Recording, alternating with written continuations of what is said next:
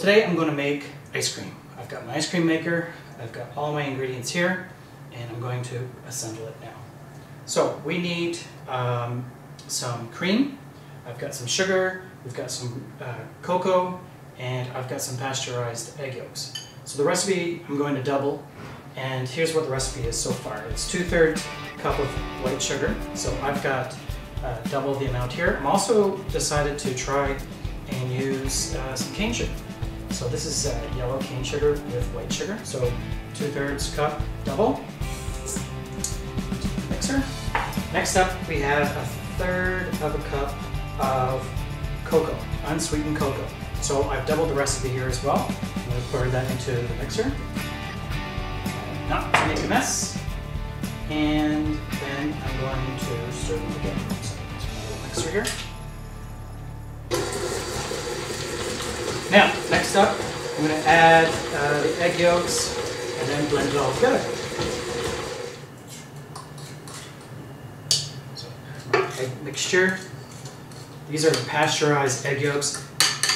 I was kind of concerned of using raw egg yolks in this particular recipe, so I learned how to pasteurize. Now, so I'm just going to stir this together. Put on my chute here. Now, as this mixes, I'm going to pour in two and two-thirds cup of heavy cream, and remember I've doubled the recipe.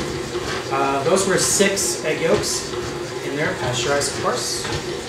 So we need two and two-thirds cup of, and this is 35% uh, This is two cups, I'm just going to pour this in slowly. We're making chocolate ice cream. I thought I would um, kick it up a bit. I'm going to add just a teaspoon of vanilla. Only because I love vanilla. This one is uh, Mexican vanilla.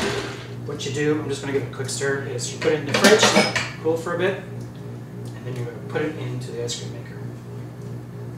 So while I wait for my ice cream mixture to cool in the fridge, I thought what I would do is chop up some brownies that I'd made uh, earlier and I'm going to add this uh, to the mixture about uh, maybe two, three minutes before it's actually complete. So I thought I would just chop that up for now and add it in.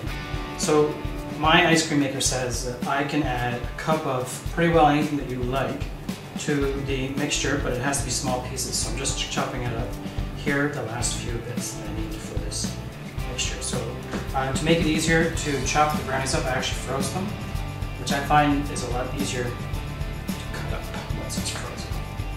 so some of the other things that you could add, and uh, these brownies have walnuts, so that's something else you could add, a couple of walnuts if you want. You could probably add fruit, although I'd probably use a vanilla ice cream rather than a chocolate one to add fruit, but if that's what you like, then go ahead and do it.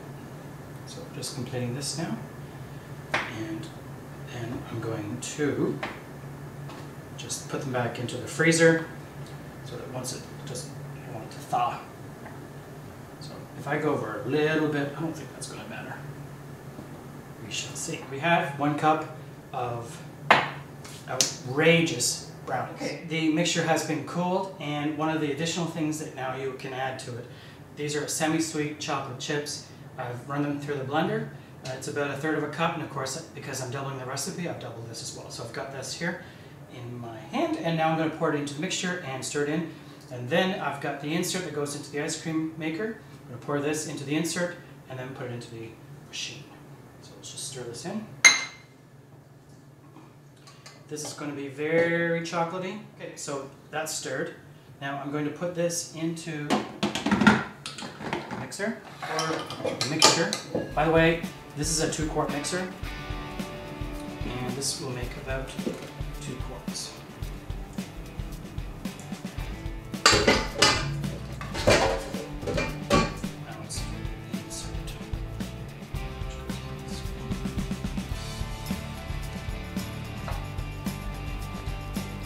it out. And then for about 25 to 35 minutes in your ice cream maker, just let it rip.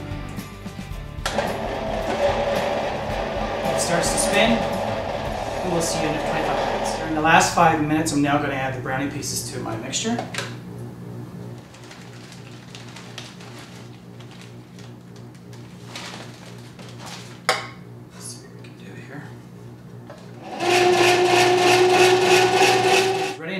Actually scoop it into, I just have an ice cream container here. Uh, I've just cleaned it and I can reuse it. So I'm just gonna give this a good big stir. I'm using a metal spoon, so it's very thick. And this recipe, if you love chocolate, you'll like this. It has a consistency of a mousse. Here we have the completed product. So this should make about two quarts, so we'll see if we can fill this. And there we have a two quart chocolate ice cream with brownie bits. See ya.